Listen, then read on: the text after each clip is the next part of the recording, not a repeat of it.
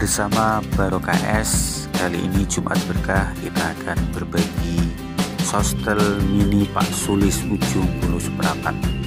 Ini dari proses pembuatannya. Selamat menyaksikan. Kita akan bagi-bagi ke tetangga-tetangga 40 rumah kanan kiri depan belakang. Semoga menjadi motivasi untuk saudara-saudara semuanya. Walaupun sedikit maka berbagi akan menjadi berkah dan indah.